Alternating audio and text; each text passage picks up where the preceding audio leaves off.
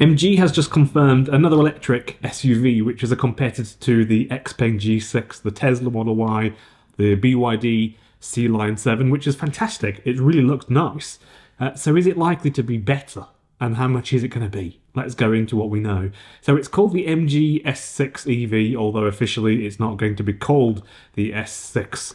Uh, we've confirmed, and it's due to launch in the first half of 2026. And this is going to be uh, or sit between the MG S5 and the larger, more premium IM6 SUV, which is giving MG buyers another electric option in that mid-size uh, segment. According to Australian government approval documents, the MG S6 EV will offer two battery sizes, both really, really good, I think. The cheapest one is 62.2 kilowatt hour, and it's an LFP chemistry, which is obviously more durable, uh, known for more affordability. Uh, the larger one is a 77 kilowatt hour nickel manganese cobalt battery, or NMC chemistry, whichever you want to call it, NMC, NCM depending on the chemistry inside the battery, NCM, NMC, depends on the quantity of the materials in the battery. That's why they do that, if you didn't know that.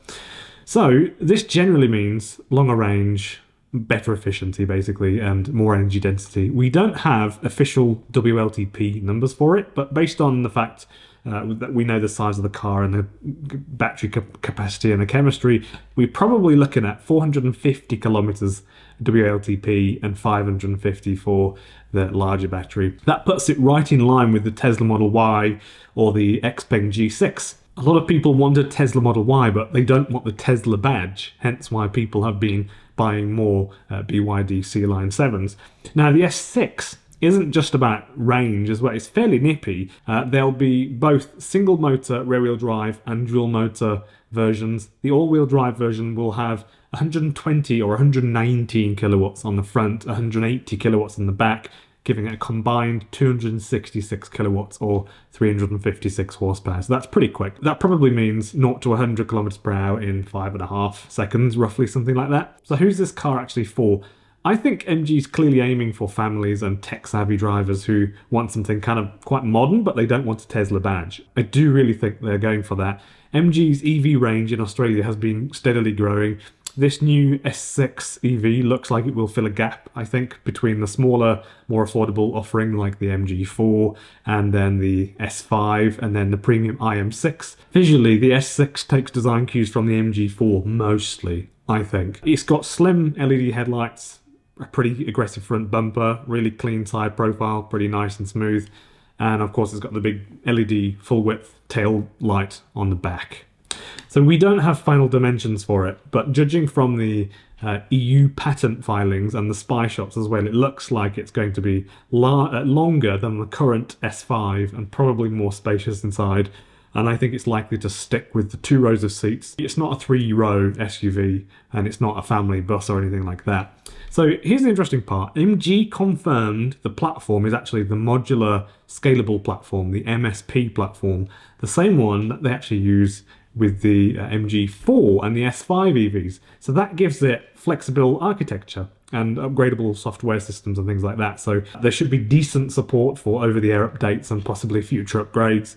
And it also keeps costs down to some degree because MG can build multiple models on the same bones. Hello folks, I'm Ben Alexxander. Thank you for tuning in. I really appreciate that. I've had some very nice comments recently. I've said this once before, I think, and I, I generally don't get the bad comments that people talk about on the internet. Really, really nice comments. So thank you very much for, for that. Uh, some people saying that they like that I have lots of interesting things to say throughout my videos and I have little bits of data and things like that. Interesting stuff kind of laced throughout. And I, I think in fairness, I do that because it makes the video, videos more interesting, and uh, you're also a very highly intelligent audience, so I kind of have to do that. But uh, thank you very much for you know for for watching my videos. In terms of price, this is where it gets really competitive. Uh, we don't have exact numbers, of course, but based on where the S5 uh, is priced, which is just under forty-one thousand dollars Aussie dollars, walking like when you walk out the door. Uh, and with the expected spec upgrades, the S6 will likely start at around 50,000 Aussie dollars, I think. This is my speculation. Maybe if you get the expensive one, that pushes up towards 60,000. I'd be surprised if they cross that. So that still undercuts the Model Y quite a bit, especially the all-wheel drive version, which starts at $68,000 in Australia. And then if you want to choose another color other than the pearl white version, it's almost like $2,700, I think, $2,800. Uh, for some reason, I have no idea why. I just think that's a that's a horrendous amount of money to pay. And then if you buy one of those on finance, you end up paying 80 grand for it in total, which is just crazy. But of course, in Australia, people, you know, it's all about novated lease these days and that sort of thing. So uh, it doesn't seem to be a fantastic deal to me if you buy one on credit. But if you've just got the cash and go buy one, uh, it's up to you. But you've got some really good options if you look at XPeng and BYD, MG now.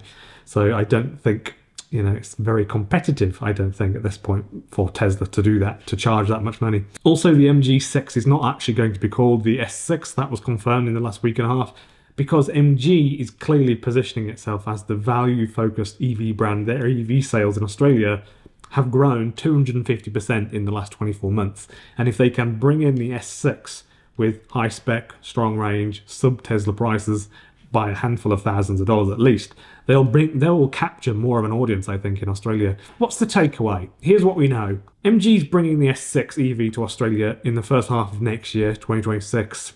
Two battery options, both brilliant 62, 77 kilowatt hours, LFP chemistry, NMC chemistry up to 266 kilowatts of power, 180 kilowatts if you just get the rear-wheel drive version. Expected WLTP range, 550 kilometers, roughly 450 for the lower one. Pricing expected to be about 50 to 60, somewhere in that region. That's my spec speculation. I have noticed that if you look on the internet, people generally aren't speculating about the price, but I'm going to give it a go. 50 to 60 grand, roughly. BYD Sealion 7, Xpeng G6, uh, obviously, the Tesla Model Y, these are the competitors for it. And honestly, I think if they get the price right for the MG, they could kind of start to capture more of this mid-size EV segment because if they get it wrong, they will simply fall behind and they'll lose lose that basically. So let me know in the comments what you think. Would you buy a Tesla, BYD, Xpeng or MG if you had to choose from one of those brands in this mid, you know, mid-size segment?